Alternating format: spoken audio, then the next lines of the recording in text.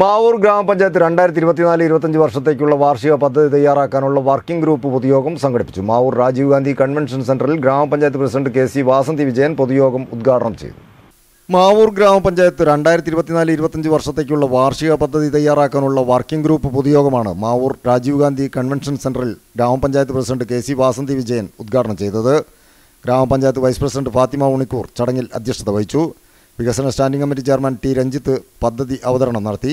ക്ഷേമകാര്യ standing committee chairperson Shubha Sailendran N. P. Ahammed K. Koyamu master Suresh Puthukkudi K. P. Rajasekharan Vinod V.